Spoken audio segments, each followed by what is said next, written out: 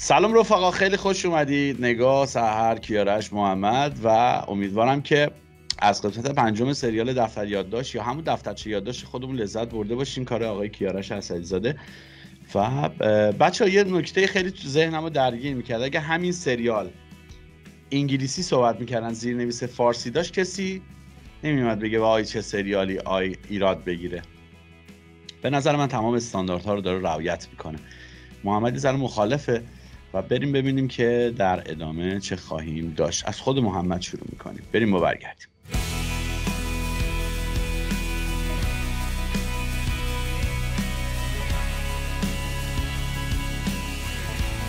سلام و درود خدمت همه مستر دکویای عزیز. دفتر یادداشت داریم نگاه می‌کنیم. و لذت می‌بریم مستر دکو. ولی کن که خب توقع هم میره بالا دیگه. اگه مثلا یه کاری یه خوری کیفیتش پایین تر باشه ما هم تو همون لول بهش نگاه می‌کنیم. ولی وقتی همه چی اینقدر پرفکت و اینقدر اصولیه خب انتظارامون قسمت به قسمت میره بالا. ما الان حضور قاتل رو که نداریم. یعنی همش باید به یه سرنخایی برسیم که برسیم به قاتل. این اوکی این داستان. ولی نه که دیگه هی تا آخر قسمت ها ما این مسیر رو دنبال کنیم یه خورده خسته کننده میشه. مگه اینکه یه هیجانی وارد سریال شه یا اینکه قاتل رو زودتر وارد کنه. من این قسمتش رو دیدم ولی مثلا یه صحنه صحنه‌ای بود که عطاران خودش نخبه است تو این صحنه. مثلا توی اتوبوس اتفاقا فکر کیارش خیلی خوشش اومده بود اون صحنه ها ولی من انتظارم از آی اتاران یا کارگردان اصلا این مجموعه که یه خورده شوخی کنه توی اتوبوس خیلی بالاتر بود. یه خورده اینا قدیمی بود. یا توقع من رفته بالا. بچه اتوبوس یه سکانس تبلیغاتی بود دیگه تابلو بود. بعد چقدر بازیگر خانم نازنین خانم خلیق. دیدی چقدر پپسی رو قشنگ پوشونده بود؟ بعد بهتون میگم یه سری آدما هستن میان دو انگشتی می‌گیرن بطری رو. ولی این قشنگ پپسی رو پوشونده بود و انگشت کوچیک. آرمو نوشته و آرمو و چون KFC تو ایران نداریم دیگه به تبلیغ سطل هم سطل سخاری هم کردم درود بچه ها امیدوارم حالتون خوب باشه. آقا سریال محبوب من با جون و دل من این سریال رو نگاه می‌کنم. هیچ جایش نمی‌تونم بگم ای کاش این شکلی فیلم برداری می‌شد ای کاش فیلم نامه اینجوری بود. واقعا زیباست. چقدر خوب که سوگل خلیق و رضا عطاران و حسن مجنون در یه قاب تو این قسمت زیاد دیدیم. ستایی که واقعا یکی از ستونهای خوب سریال هستن و قبلا بهش اشاره کردم. این داستان روایت قاتل ما و آقای کاردان و نمی‌دونم آقای کاردان خم نیست علکی داره فیلم بازی می‌کنه و خدا رو شکر همه اینا رو نقص کرد. آقا قاتلیشون هم نیست. ما برنامهش رو ساختیم میاد بهتون میگیم قاتل کیه. برید ببینید. خانم مینا ساداتی رو کلا من با آقای کیارش اسدی زاده شناختم. هم بازیش برای من زیبا و گیراست و قابل باوره هم احساس کنم هر نقشی رو به خوبی داره در میاره. باری کلا. بچه ها در عرض پنج دقیقه اون شوخی که اول شروع سکانس این قسمت شد رضا عطاران فراموشی دوباره گرفت. از دنیای درون عطاران کمد بهش نزدیک شد. در عرض پنج دقیقه شد نظافتچی شوخی کرد. خانم پاور نجات اومد. این پنج دقیقه این سریال فیلمنامه سریال های دیگه است. تو پنج دقیقه شوخی رو کرد نظافتچیش کرد خندش هم گرفت. واقعا اینا این نکات خیلی مهمیه. راجع به اتوبوسه حرف خیلی مهمی دارم. محمد تو بخش ادامه میگم. چرا دوست داشتم اون صحنه سلام به همگی به تمام عزیزانی که دارن این برنامه رو می‌بینن. آقا این قسمت سریال دفتر یادداشت به جرئت میگم بهترین قسمتی بود که تا الان پخش شده بود. چون فکر می‌کنم همه چیز به اندازه کافی استاندارد خوب حتی شوخیایی که بود مخصوصا قسمتی که توی اون تعمیرگاه لوازم خونه بودن که خیلی من اون سکانسش رو خیلی زیاد دوست داشتم. سرنخهایی که داره وارد قصه می‌کنه خب سرنخهای خیلی جدیدی نیستش. یعنی همه یه جوری بکگراندی داریم از اتفاقایی که افتاده و قاتلی که وجود داره. اما اینکه کیارش میگی که کار شوهر منیر نمی‌تونه باشه نمی‌دونم چرا وقتی که داشت می‌رفت توی مثلا انباری خیلی چک می‌کرد حواسش به دوربینا بود. شاید خودش هم از این کسی که امیر کشته سورپرایز شده. شاید یه قاتل دیگه اومده کنار قاتل اصلی قرار گرفته من حتی من به اینم فکر کردم. و یه دیالوگ خیلی حالا نمی‌دونم خاص ذهن آدم رو گمراه بکنه مخاطب بخواد یه حدسایی بزنه. ولی اون دیالوگی که برگشت سوگل دریغ به عطاران. گفتش بابا جون گفت دخترم. من نمی‌دونم چرا فکر می‌کنم این یه جورایی بیشتر تایید می‌کنه که این می‌تونه پدرش باشه و از اون طرف مادر نازنین اصلا نمی‌خواد روبرو بشه. اگر عاشقش باشه و همسرش نباشه قطعا حالا یه جوری خودشو نشون میده. من یکم سر این قضیه بیشتر مطمئن شدم. آره یه ذره روش هم غیرتی ان حسن مجنونی یه ذره روش غیرتی. درود شب بخیر میگم. به دوستای خوبم و مخاطبای قدیمی و جدیدمون. خیلی خوشحالم که تونستم دفتر داشته باشم. چون قسمت پیش نبودم و چقدر قسمت پیش رو دوست داشتم و می‌خواستم یه تشکر ویژه کنم از خانم سوگل خلیق با این بازی بی‌نظیری که داشت مخصوصا در قسمت پیش فوق‌العاده بود. و می‌خواستم به آقای که اسدزاده بگم که آقای اسدزاده من وقتی که دفتر یادداشت شما رو می‌بینم یه سحر دیگر و قشنگ مشخصه که شما و تیمتون نویسندهتون با قلم هنری یعنی با اینکه واقعا فکر کرده که با مغزمون داریم فکر می‌کنیم این کار رو نوشتید و کاملا تو هر لحظه به شعور مخاطب احترام گذاشته شوخی های بجا دیالوگ های مناسب یعنی اینکه مرز بین اینکه شما شوخی کنی و مرز اینکه توهین کنی و یا جلف بازی در بیاری و با جلف بازی بخوای یا کلمات رکیک بخوای یه نفر رو بخندونه خیلی متفاوته.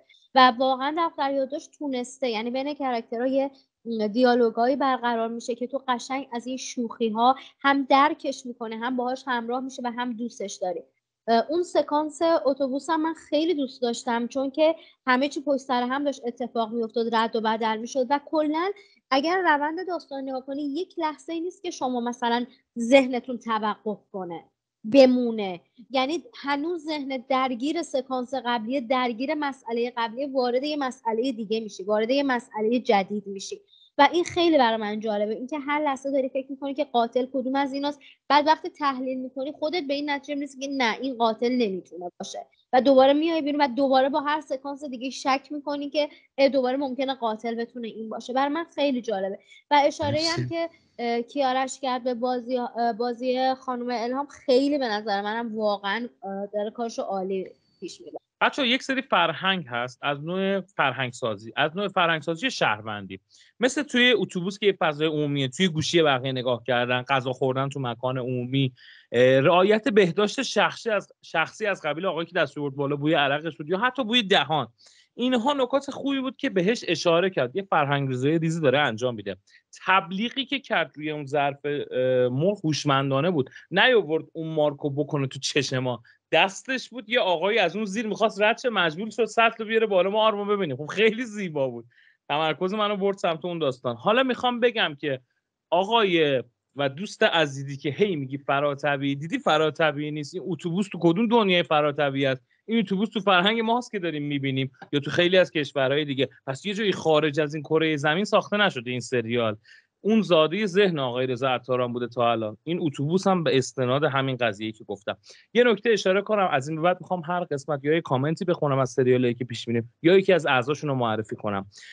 آقای امیر حسین کتبزاده که وظیفه استدی کمو داشتن. دوربینی که بدن وصل میشه می‌رفتن. خصوصا اسم ایشون بگم که به عنوان عضو جداگانه کار کردن. و جواب یه سری از مخاطبا رو بگم راجع به موسیقی که وسط کار پخش شد. بچه بهنام راد آهنگساز موسیقی متن کار و تیتراژ اول و آخر بوده. تصدیف های میانی که توی کار شنیدیم که من گفتم گروه آکاپلا توسط آقای پیمان خازنی آهنگسازی شده و اون خانم هایی که می‌خونن شاگرد آقای پیمان خازنی هستن. یعنی آقای پیمان خازنی هم مدرس آواز هم آهنگساز اون کارهایی که وسط کار پخش شده. اونها کارهای قدیمی نیست. کارهای جدیدی هست که به توسط ایشون آهنگسازی شده. مرسی. بچه جا داره. من یه تشکرم بکنم از عقیل حسینیان و سوگل سناگو. چون هر دفعه این سریال پخش من تیتراژش رو می‌بینم تا آخر. و دمشون گرم. تیتراژیه که با دست ساخته شده. یعنی همه چیز چیز چیزی گرافیکی نیست. ساخته شده و فیلم برداری شده کیارش؟ من اینو متوجه نشدم. اتوبوسه رو گفتی که جای فراچیچی نیست؟ به ما تو یک سری از توی یک سری از نقدها چه مخاطبا چه دوستان خودمون گفتن آقا این سریال یه جای فراتبیه. مثلا یه جای دیگه است که مکانش نه من خودم بودم. گفتم مکان و زمان مشخصی نداره. خب نداره. اتوبوس که ببین ما یه تاکتیکایی رو می‌زنن که بتونن اون شوخی تو جامعه رو باش بکنن. این مکان زمان نداره ولی خب اتوبوس که همه جا هستش می‌دونی یعنی شاید ببین این نوع. این نوع توی اتوبوس این نوع فرهنگ که داریم اکثرا تو ایران و کشورهای جهان سومه شما تو کشور جهان خب. اول یکی نمیره دستشو بره بالا بهداشت شخصی. شاید نشه این شکلی غذا بخوره این داستانا نیست. دقیقا داری درست میگی میگم ژاپن هم جز جهان اول حساب می‌کنین ژاپنو ژاپن که جهان سفرومه فکر کنم دیگه از نه نه ژاپن. اگر جز جهان اول حسابش می‌کنی چند وقت پیش یه پستی در اینستاگرام بود که طرف مثلا دستشو کرد تو دماغش مالید رو میله ها یکی دیگه داشت مثلا زیر بغلش مثلا عین همین بود. ژاپن اصلا یه دیوونه بازی بود توی متروی ژاپن تو توکیو. من. من منظورم اینه که کیارش اصلا واسه همین میاد نو مکان میگم مکان زمان رو هضم می‌کنه که بتونه این شوخیه رو تو اتوبوس بکنه. بعضی شوخی ها چون اگه مکان رو بگه ایرانه به راننده اتوبوس بر می‌خوره به مسافرین اتوبوس بر می‌خوره به شرکت تاکسیرانی و نه اتوبوس رانی بر می‌خوره. این میاد مکان زمان رو هضم می‌کنه واسه خودش. حالا اینجا میاد چیزایی که فرهنگ خودمون هست و جا میده توش و بهش می‌خوره. محمد این که میگی درسته. من حرف تو رو نقض کردم این یه مکانیه خب؟ اصلا کاری نمیرم ولی فراتبیعی نیست. یه جاییه. فراتبیعی یه چیز دیگه است. فراتبیعی میره تو سورئال طبیعی، آره. فراتبیعی میره آره. تو سورئال سورئال نیست کار. منظورم خب اینه. از این لحاظ که بله، بخوام. چیز بکنیم بچه اتوبوس های متروبوس های توی استانبول هم همین شکلیه. همین داستانا رو داره. همه تو هم میلولن. همه یه جمعیت وحشتناکی داره. آره این چیزی که من به چش دیدم. یه خورده آیه بنفشخا داره خیلی مرموز میشه تو این سریال و اینکه دوستان الان همه مخالفن نریزن مخاطبامون سر من. بنده هم موافقم چون سریال دیگه ای نداریم که اصلا ما با این مخالفت کنیم. نه که نداشته باشیم ولی لول سریالامون به نظر من اونقدر بالا نیستش. حداقل دفتر یادداشت با یه اختلاف خوبی داره جلوتر بقیه سریالا میره. ولی یه خورده آیه بنفشه هم داره مشکوک میشه. یعنی کارگردان هی داره شک و شبهه رو می‌بره بالا ولی یه خورده من داره حوصلم سر میره دیگه. مثلا اون شوخی های تو اتوبوس رو منم باهاش حال کردم ولی تو ذهن من یه خورده قدیمی بود. دوست داشتم از عطاران یه چیزای دیگه ای ببینم. در مورد بیژن بنفشه خواه که قشنگ مثل چیز میمونه مثل جاسوسای ستون پنجم روسیه میمونه که صورتش هم زخم داره و اومده بلوک شرق آس- اروپا. بچه دیگه خیلی هم خوب گفتن خب به نظر من از ارزش کار کم می‌کنه چون که مثلا میگیم فقط داریم خوبی رو می‌بینیم نقصاشو نمی‌بینیم. این که گاه- گاهی وقتا یه سری از چیزایی که نشونه ما میره تا این قسمت نمی‌دونم چندمش بود که داشتیم می‌دیدیم پنجم پنجم ششمش بود. این که مثلا رابطه نازنین و قراب و توی یه قسمت یه خیلی کوتاه نشون داد و رهاش کرد. اینکه حالا مثلا بازیگرایی که هستن هنوز وارد نشدن اینم به نظر من یه کوچولو می‌تونه نقص باشه. و اینکه تبلیغ کردن بالاخره حالا هر کسی دیگه شیوهی داره برای تبلیغ کردن حالا اینکه بخواد تو چش بیننده بکنه چه اینکه حالا بخواد هی چندی بار اون ظرف رو بالا و پایین کنه بالاخره این هم وجود داشته. اما اینکه بچه شوخی های جنسی داره. شوخیاش من تنها فکر کنم سریالی که شوخی جنسی اینجوری ندیدم توی سریال شبکه مخفی زنان بود و داوین چیز بود که خیلی چیز استفاده می‌کرد. ولی این عملا دیگه داره اسم می‌بره حتی گاهی وقتا. یا حتی اون حرکت هایی که توی اتوبوس بود دستشو برداشت که سوسو برداره. کاملا دیگه این شوخی به نظر من شوخی که خیلی پاستوریزه نیست این کار رو داره انجام میده. اما من دارم به این فکر می‌کنم که اگر قرار باشه که بین این جماعتی که الان به ما نشون داده شده قاتل رو پیدا بکنیم می‌تونیم به همه مشکوک بشیم و اینکه دفعه سورپرایز اون بکنه یا اینکه اصلا قاتل رو نشون نداده باشه. بچه ما فقط داشتم به یه چیزی می‌خوام اینجا مطرح کنم. خیلی ذهنم درگیر شدم همش به این فکر می‌کنم اگه روزی رضا تاران این قاتل رو پیدا بکنه شخصیت ایرج همون لحظه ریست بشه چه اتفاقی قراره برای بیفته؟ چون ذهنش یه دفعه میپره. این خیلی برای من جذابه که چجوری می‌خوای نشون بده که قطعا هم نشون میده. اما در مورد بیژن بنفشه خب محمد خیلی باد موافقم. من یاد سریال نیلوفر آبی میفتم که یه هتلی بود که همه بودن و یه دونه لابیمن داشت که آخر مشخص شد که اون همه کار است. من به اونم شک می‌کنم و اینکه حالا ممکنه که با این اتفاقایی که نشون میده و حالا همونجا توی خود همون قسمت یه جورایی تبرئهشون می‌کنه برای ما ممکنه که بین همونا هم که تا الان دیدیم قاتل وجود داشته باشه.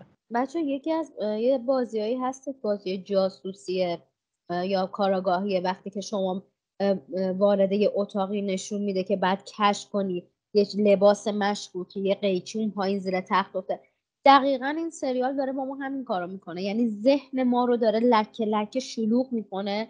هر چیزی از هر یه شخصیت هایی به ما داره توی ذهن ما جا می‌ذاره. مثل همون قرابا نازنینی که نگاه بهش اشاره کرد. تا این ذهن ما به هم بریزه. ذهن ما مشغول چیزهای دیگه هم باشه و نتونه خیلی از سر نخوا رو پیدا کنه و گیج بشه. من تعبیرم البته اینطوریه. و راجبه اون لابی من هم دو حالت بیشتر نداره دیگه. یا اینکه ذهن ما رو می‌خواد به سمت اون پرت کنه که ما از قاتل اصلی فارغ بشیم یا اینکه واقعا داره حالا یه سرنخهای دست ما میده. و اینکه برای من چیزی که خیلی جالب بود اینکه مثلا میاد گذشته شخصیت هارم رها نکرده. یعنی ما یه گذشته ای هم از شخصیت ها می‌بینیم. مثل این قسمتی که مونی رو دیدیم چطوری با اون همسرش ازدواج کرده بود اینم جالب بود. ولی خیلی مختصر و کوتاه بدون که چیز اضافه ای بخواد دست ما بده. در کل من هر لحظه با این سریال واقعا همراه میشم. یعنی هم دیالوگ ها هم بازی ها هیچ چیز اضافه ای که به چشم من بخواد اذیت کننده باشه یا مثلا باگ باشه به چشم من نمی‌خوره. و امیدوارم این مسیر ادامه داشته باشه و به قول محمدم خیلی هم کشدار نشه که خسته کنه مرسی ممنون. بچه ها متشکر از لطفتون. نگاه گفتش که تکلیف رابطه قراب و نازنین مشخص نیست. وقتی که شما دقیقه سه و سی در قسمت پنجم خانم مینا ساداتی یا منیر میگه که من آمار تو رو دارم. تو ساعت پنج از در خونه میای چون سرعتت کنده تا ساعت هفت طول می‌کشه ارجات میده به یه ذره جلوتر که تو پارکینگ داره میره و شما اون لحظه نمیگی وای این چقدر کند داره میره که به پایین برسه. همه اینا رو توضیح میده. یعنی باید یه ذره صبور باشیم. نمی‌تونیم در یک دقیقه دو دقیقه سه دقیقه یه سری چیزا داستانا رو بیاریم بالا رو بکنیم.